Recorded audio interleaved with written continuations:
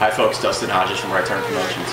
With the 2017 NAF 1000 Championship officially in the books, I sat down with the top three finishers to get their thoughts on the inaugural North American Formula 1000 Championship presented by American Racer Tire.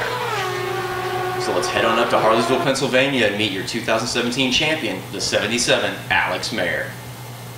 2017 was awesome. Uh, it started out a little rough, but uh, we ended up not finishing the first two races. But then throughout the season, turned turned around and made it all better by winning most of them. Uh, the group of guys are just amazing. We're all really close, and if anybody needs a hand during the weekend, at least somebody or two people are there to help them out, no matter what it is. Um, other than that, the cars are amazing. They handle just like a go kart with a lot more power and the tires grip amazing, so it's awesome. Running to Indy was pretty awesome. I was there back in 07.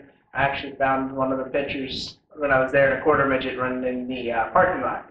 Uh, but running Indy on the big speedway this year was pretty awesome, and the race with Gary Hickman was, we were within five cars the entire race. So it was a tight, close race, and it was worth it. And even one corner we were hooked up going in, he ended up hitting me in the back, and the end plate, or the the wing mounts got in, intertwined in his nose. So it was interesting going through that corner. Kind of pivoted like a trailer. Yeah, yeah very much so. Yeah, really excited for the more competition and a closer group of guys. Uh, more competition, the better, and American Racer will be there, I'm sure. But other than that, it's really excited for 2017 or 2018 actually. Because we're heading to PRI in the middle of December to go with actually one of our sponsors, uh, one of the oil companies just came on at the last race, the MP, MTP oil, MPT Oil Company. Well, we have uh, plans to do an F4 and a GP3 test over in Europe uh, this coming winter. So hopefully we'll see how that pans out. We might be running a couple races over over in Europe next year.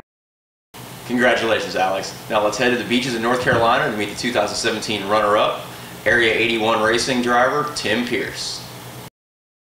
So we're here with Tim Pierce, the uh, second place in the 2017 North American Formula 1000 Championship. So I want to say congratulations, Tim, on your second place finish. I know you got you and Jason Slahor had a fantastic battle all year long, and you came out ahead by a half a point. You want to tell us what were you thinking about that race? I know you're trying to overcome nine points, and it seemed like an insurmountable amount, but you pulled it off. I want to say congratulations. Uh, you want to tell us about your year? Well, thank you, thank you. Yeah, going into the race, uh, I knew that I was nine points back, and I kept having conversations. Hey, is there any conceivable way that that I would be able to come out ahead? You know, is it mathematically impossible? And and, and the early conversations was, well, it would be really insane that you would have to finish first, and Jason would have to finish last, or not finish at all, and and it, it was crazy. And even then, it was a stretch of the imagination so when it turned out that I finished first and Jason finished third, it it's still yeah, I was two points shy, but then and and I thought after the weekend was over that I was two points shy, and then I got a text message saying, well, but by the way, you got the pole position. And that's worth points, and you got the fastest lap of the field, and that's worth points. And I never even thought about that, so it was a complete surprise to me that I ended up finishing second in the NAF 1000. But Jason is such a great competitor. You know, every single race it seems like he's right there with me, and and he's a good driver. He's a good person. But daggone, I just could not get away from him all season. You know, it's like we're right there together every track, every race. You know, we're right there together. Jason won so many hard charger awards. You know, and, and that's money. You know, that's money that I didn't get. You know, I finished third or fourth or whatever. And here's Jason every single weekend. He's hard charger, and he got the big money. You know, and Sunoco has done a great job everybody wants to be the hard charger. And a couple of times we actually uh, uh, kind of joked around with Jason, hey, you know, you're you're kind of you're, you're, starting light just so you can finish strong, so you can get that hard charger. Actually, it's not a bad strategy. well, you know, if it if it would have worked out ahead of you at the end of the year, we might have been saying things differently about those, that one point for Sunoco. But you know, I guess uh, in the end, I'm not sure if you trade second place for a few hundred bucks every weekend, but you know, it's uh, that that check kind of makes up for some of it, I guess. Here, so. 2017 with the NAF 1000, I wouldn't have had this in 2017 had it not been for the NAF 1000. You know, th- I thank the series, I thank all the sponsors, uh, Wilwood, HRP, uh, Sunoco, American Racer, George Dean Racing Engines, uh, the uh, Rebel Gears, you know, th- these guys, without you guys, we couldn't have done this. We couldn't have these sponsors. Promise Racing, uh, you know, we just couldn't have done it without these guys. And, you know, before 2017, we'd have a, a little plaque from uh, the national races or the regional races, and then those are great. But but this is something to really be proud of, and we are very proud of the series and what we've done, and uh, we hope to make it even better for 2018. And this is a this, this is pretty nice to be taken home for a weekend's trophy. Uh, that's that's that's legit. That's got a nice heavy base. I mean, that's a that's a legit trophy. That's, This is this is the big boy. this is not this is impressive. Yeah, man. this is the one you want. to take home second place in the year end. That's that's pretty. That's amazing, man. That's uh, I'm honored to uh, to finish second in the NAF 1000 inaugural season. Not only that, I won the first race in Road Atlanta and the last race at Indy, so I have bookends on the season. that's pretty nice. You got that. Yeah, you have, you have first place bookends. That's a good. That's a good way to end the start and finish the year. you That's know? right. You know, good start, good finish. So you know, maybe it'll be some momentum going into the uh, the 2018 season. But what are your thoughts on the sophomore season for this series? Oh gosh, I'm so excited. Number one, uh, Waterfall Security Solutions, which is our marquee sponsor for Area 81 Racing, has agreed to sign on for 2018, and that's a huge help having their support. Uh, as you know, uh, Richard Franklin, my teammate, Area 81 Racing, has retired from racing. He's sold his car. You know, maybe he'll be back. it might be in a rental, it might be in our class, or it might not be. So that's a huge loss for our team. Uh, but I'm prepared to double down and uh, and take the team on my shoulders alone. And it, it means a lot to me that Waterfall has agreed to uh, to re-up with us for 2018. Secondly, uh, I'm doubling down in another way in buying a new car. Uh, you're probably know all about this with the JDR. I'll be driving in 2018. In 2018, I'll be driving a JDR, and uh, you know that uh, Alex won the, the championship and the runoffs in the JDR, and and I, Alex has. I, it's amazing the speed that he has out there, and, and I feel like there's more potential in the JDR. So it's going to be a big change for us in Area 81 Racing, and I feel like we're going to be even more competitive next year. So uh, we're very excited to to run the second season of the NAF 1000.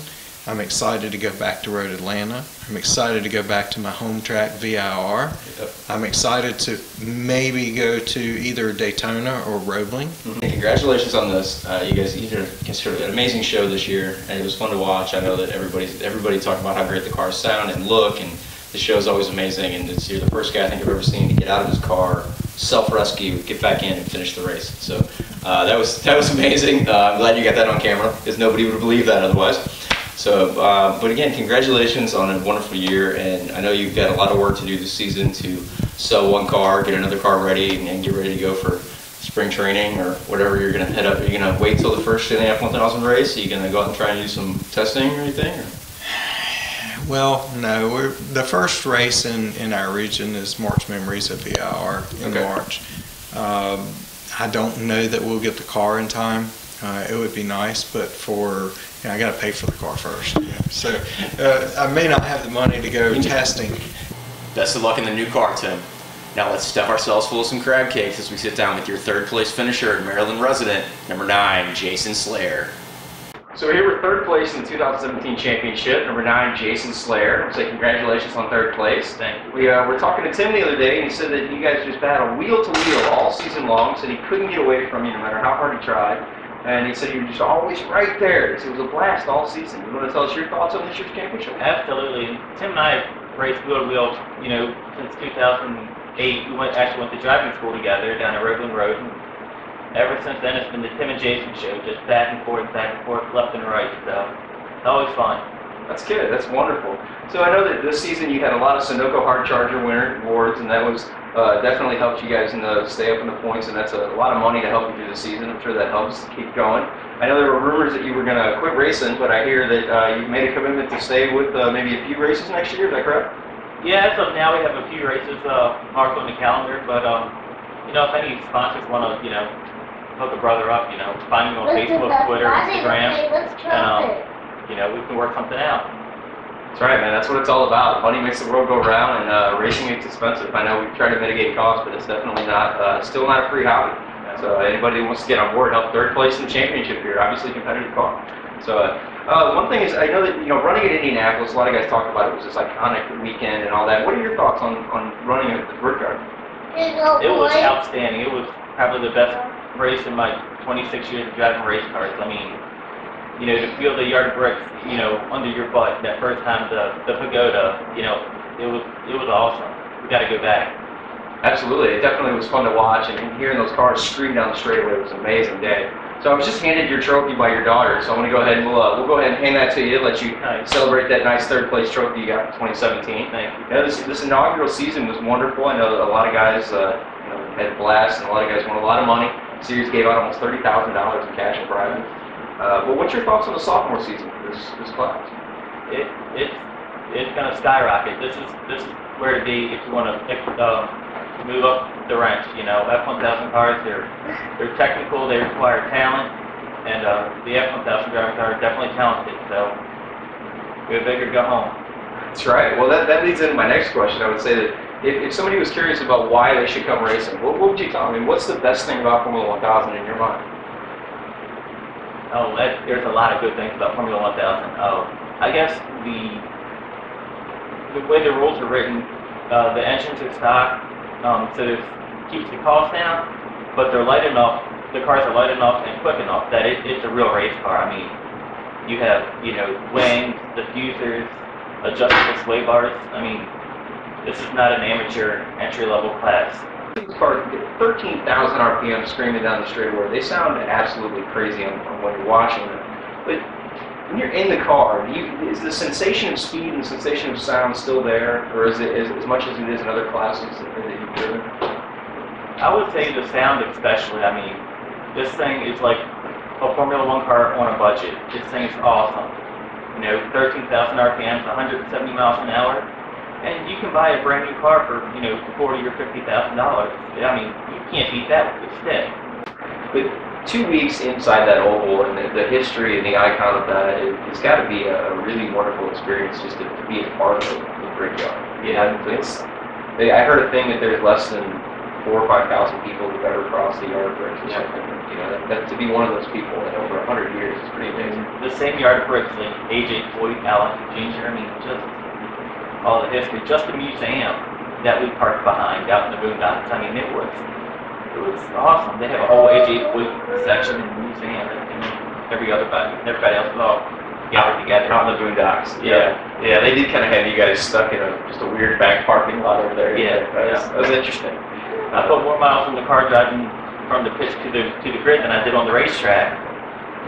Well, I think you were closer than some of the guys. Were, I saw there were, there were guys actually kind of outside the racetrack. Yeah, They were had to go through a tunnel and all kinds of other weird stuff. It was just craziness. There was a thousand entries for runoffs. It's just it's crazy. So, well, next year I know that the schedule's still kind of up in the air, but I know that they're talking about going back to you know VIR in Atlanta, possibly going to Daytona, maybe Roebling Road is open, things like that. What's what, if, if any of the tracks that we race this year, or possibly in the air, what, what's your favorite track that you that you really want to run? What, what's you really enjoy the most? all of them, All of them. all All of right. the above. All right. I, that that works for me. All right. Racing is racing. You gotta love it. Well, I just want to say again, uh, congratulations Yes. on a wonderful season. Uh, I know it was, it was great watching you guys battle wheel to wheel. I love the, the video of you and Tim just constantly back and forth. It's great. Uh, the sounds are amazing. You guys did a great show. I, I look forward to seeing you on the track next year. I, hope, I really hope you can make it to a lot of the races. Anybody out there that you know definitely wants to uh, jump onto a car and get a lot of coverage, um, you know those 50,000 video views of a car, pretty easy to set that budget up for them. So get Jason out on track. Get this guy some cash. Well, uh, congratulations again, and uh, we'll see you next year. that'll work. Thank you. Thanks. Congratulations on a wonderful season, guys, and congratulations to all the competitors in the inaugural North American Formula 1000 Championship presented by American Racer Tire. I know I'm not alone when I say I cannot wait to see the sophomore season of this amazing series. For those who missed an NAF 1000 event this year, don't let this happen twice. The video does not do these cars justice. A schedule will be released soon. Make sure to stay tuned and pick a track close to you to come check out the greatest sounds in American motorsports. For more information about the North American Formula 1000 Championship presented by American Racer Tire, check out Facebook at NAF1000 or the web at NAF1000.com or maybe Instagram, Drive Tribe, Apex, or Twitter is more your thing. Find us on the web at, at NorthamF1000. That's at NorthamF1000. We are everywhere on the web, folks. Stay tuned for 2018 as we expand even more of the right turn racing in this world and we bring you live coverage of multiple amateur and professional racing across the road courses of the United States as well as highlights from around the world. Once again, I'm Dustin Hodges. Have a wonderful day, folks.